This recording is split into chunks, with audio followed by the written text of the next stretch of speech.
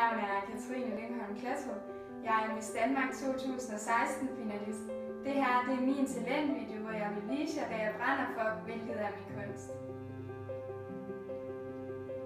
Kunsten er vigtig for mig, fordi det er et element, jeg anvender i min hverdag til at slappe af og have det rigtig dejligt. Jeg vil bruge den her video på at vise jer, hvordan jeg har malet det her maleri.